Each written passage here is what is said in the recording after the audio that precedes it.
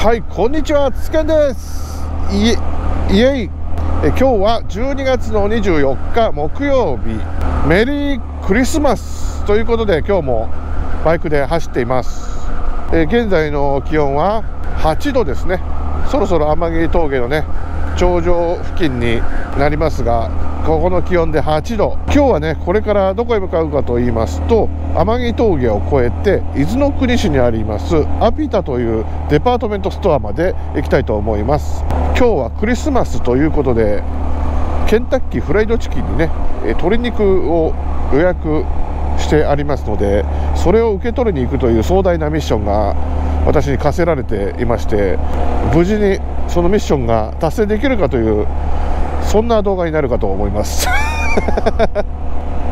えー、現在の時刻10時17分。予約時間はね11時ですのでんちょっとギリギリ間に合わないかなぐらいなそんな感じです。はい。で皆さん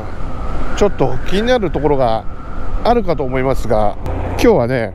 モンキー125新たなカスタムをしてみたという、ね、動画も兼ねています。もうご覧の通りハンドルカバーをつけてみました。ね小峰のあのよく見るハンドルカバー。この横がね赤いこうラインが入っているタイプを選んだんですけどいやこれねすげえわこれ。ハンドルカバーをねみんなつけてる理由がわかる。これで全然寒くないじゃん。ね。ハンドルカバーをねつけた理由なんですけど Facebook かな？モンキー125のグループを見ていてつけてる画像見たら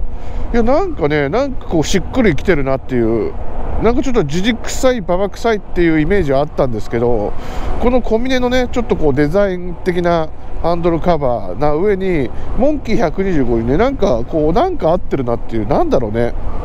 なんかバランスがいいというか、まあ、よくわからないけどちょっとこうつけてみようかなっていう気になったんですよ。で値段を調べてみるとなかなかのお手頃価格2000円ぐらい2100円ぐらいだったっけかな。なのであもう全然いいじゃんと思ってとりあえず買ってみました。まあ冬のねグローブで乗るとちょっとごわついていて操作感がいまいちなのがちょっと気になっていたんですけど、まあ、今ねこの中は夏用のメッシュグローブをつけてきました、まあ、これわざとなんですけどね。ちょっとこう試してみたくてわざとつけてみたんですけど今もう全然ポッカポカしてるよ。よく言うなんていうのグリップヒーターにこのハンドルカバーでもうこたつだっていう何か見たんですけどいやもうこれねこの状態でも全然中ポカポカ。うん。風がこう当たらないってこんなにもすごいことなんだなっていうのを今実感しています。素晴らしいねこれは。本当に。他にね考えたのはやっぱり電熱グローブっていう選択肢もあったんですけど、まあ、この原理でね伊豆界隈うろちょろするだけにそんなにまあ結構いい値段するじゃないですかあれも。ちょっと買ってみようっていうぐらいのレベルにはないなと。まあ、あればねものすごく快適なのかもしれないですけどそこまではね必要ないかなと私自身がね思っていたのであとはさっきも言ったグリップヒーターなんですけどグリップヒーターつけて手の中はあったかいけど外側が全然冷たいとかねよく話を聞いたりとかあとはねバイクがいろいろあるのでそのなんだろう付け替えというかね一つの車種に絞られてしまうっていうところがちょっと、うん、あれかなっていうのは思っていました。まあ、そんな時にねさっきも言ったようにこのハンドルカバーつけてる画像を見つけてあなんかね本当にいいじゃんみたいな。2000円だしちょっと買ってみるかっていうそのぐらいのお試し感覚で今買って、えー、つけてみたんですけどもう本当にこれ最高。すごい。まあ見た目のねあれは人それぞれ好き嫌いはあるかもしれないですけど私はね全然ありだねこれ。で取り付けなんだけどもうほんと簡単。穴が2個開いていてグリップの大きい穴とブレーキクラッチレバーを通す穴が2つ開いています。ただそこに両方一緒にね通せばいいだけという簡単設計で。で、まあ、それだけだと外れちゃうのでこの見た見てもらうと分かると思うんだけどミラーのところにね紐で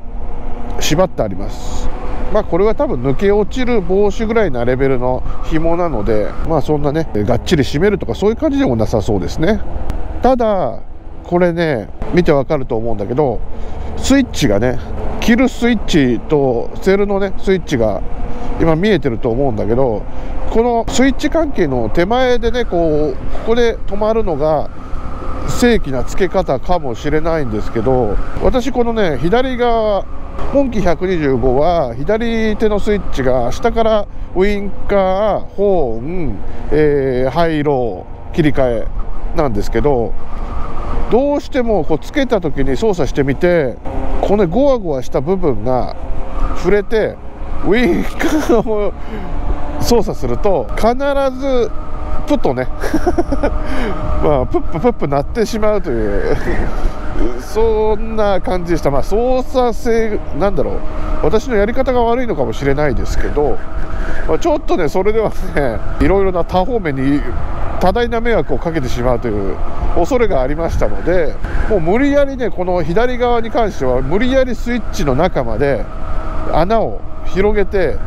入れてしまいました。右も入れようかと思ったんですけどアクセルワイヤーやら何やらが下に飛び出てるのでちょっとね入れな入れられないような構造になっていましたので、まあ、こっちはこのままでいいかなと、まあ、左右のバランスが若干悪いんですけど、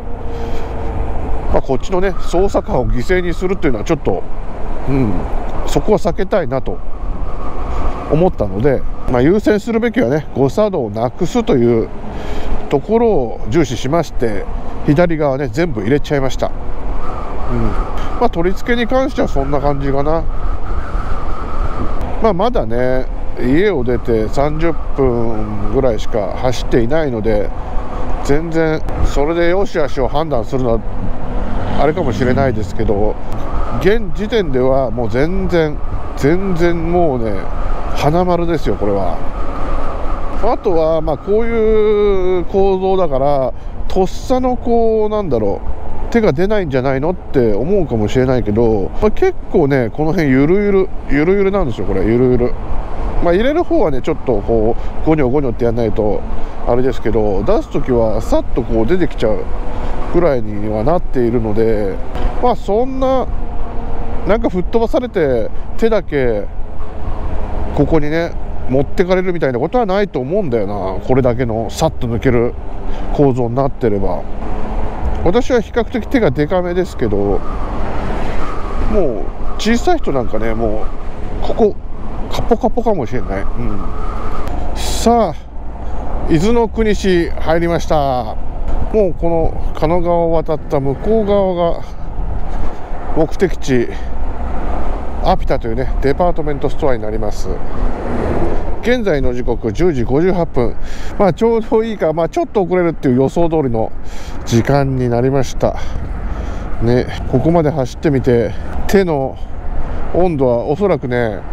上がったねこれ。上がってる。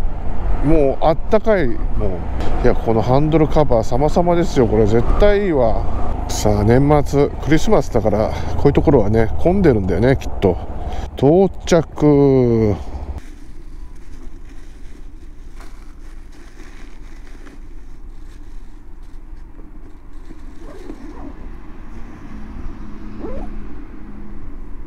いろいろとね、買ってきました。ケンタッキー、無事に受け取りましたよ、これ。よいしょ。ミッション完了かな、これ。さあ、無事受け取ることができまして、えもうね、これから帰ります。えもうこのね、ハンドルカバーもめちゃくちゃあったかいということが分かったし、ケンタッキーも無事受け取れたし、うん、今日はね、いいクリスマスイブだったなと そういうことにしておきましょう。はい。ということで